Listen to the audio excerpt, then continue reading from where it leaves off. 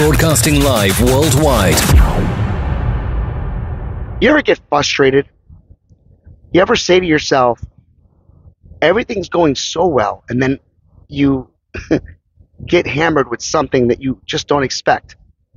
You know, you can't always expect the unexpected because things will happen. Things can happen. But here's the tricky part of this whole thing. When the unexpected arrives, how do you deal with that? Do you get more in touch with your faith? Do you pray to God more than you already do? Do you pray to God when you haven't prayed to God at all? Do you get frustrated to the point where you're upset with God? Do you yell at God? Do you walk away from God? You hear all these things that are happening? That's what we're going to talk about today. Have faith, let it begin. Tuesday edition. I may be a little sick, but not sick enough to do this episode. Starts right now. Welcome to Have Faith. Let it begin. Here's your host, Angel Santana. Ariel, can you say have faith? Again. Let it begin? Again. Say have faith. Again. Let it begin. No, No? no. No? Okay. boy. Hi, Noah. Noah! Noah. Oh, Jesus. Happy birthday, Noah! Caitlin, You did amazing. you just put those lights on. Noah. Have faith, let begin. When it starts right now. Hello, everyone, and welcome to Have Faith, Let It Begin. On this Tuesday, July 11th, 2023, got a couple things to announce to you. Um, we will be uh, doing another performance, another service at my church. Um, it is an outdoor service, July 23rd. That's a Sunday, of course, at 10 a.m. Um, it will not be broadcasted live um, on this platform. You will hear the version on a Monday uh, or Tuesday, depending on when Ianelli and I record.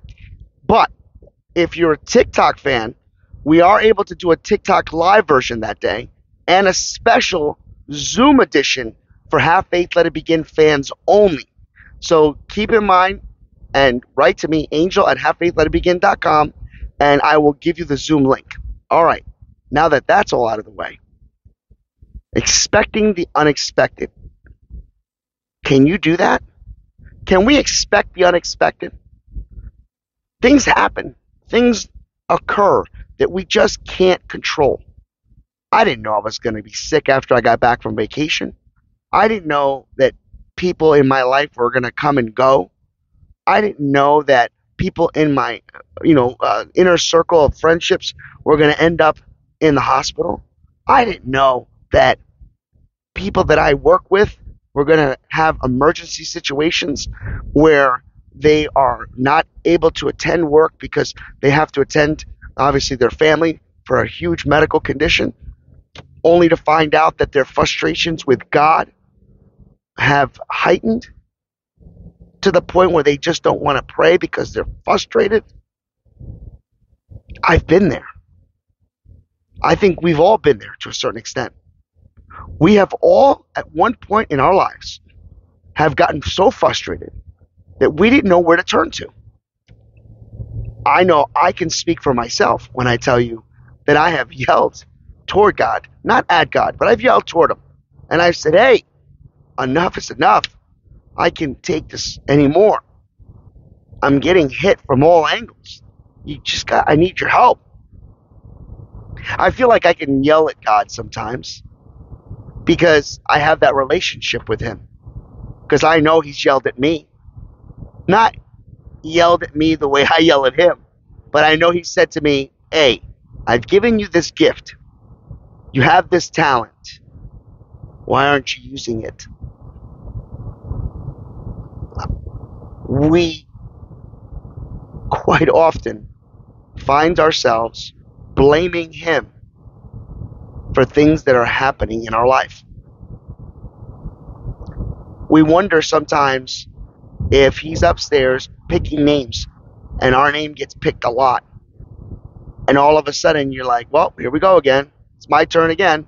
Uh, well, oh, That's the story of my life. Or, oh, this always happens to me. well, well, everything's going well. Why wouldn't it happen to me? I've been there. I know how that feels.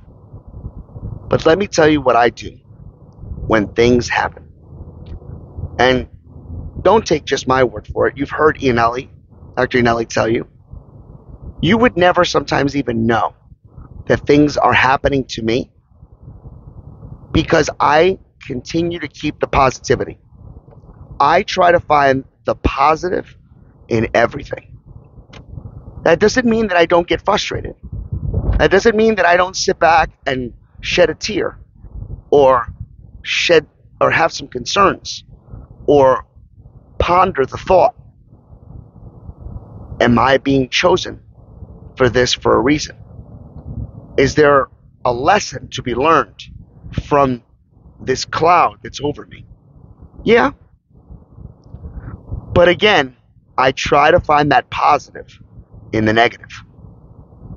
Because let's be honest, no matter how bad things do get, don't we end up on the right side later on? One way or another, the good comes out.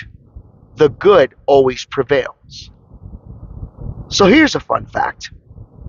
I remember, I remember, you know, listening to that episode on Friday, uh, the crazy date story, and I remember how I felt on almost every one of those dates. I remember how it felt to feel as if I didn't matter. I felt ugly. I felt insecure. I felt sad. I had many friends that I had many crushes on. I had many girls that I tried my darndest to take out, and they just weren't interested. And yeah, it hurt. But there were reasons behind all that. And even though in my 20s, at times I couldn't understand it, I knew there was a reason. So I just moved forward.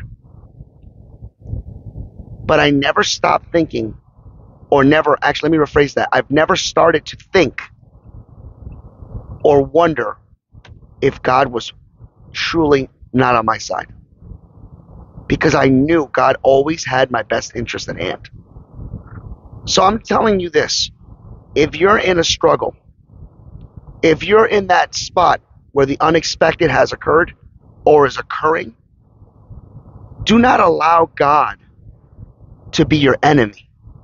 Do not allow God to be your distraction because God is not your enemy.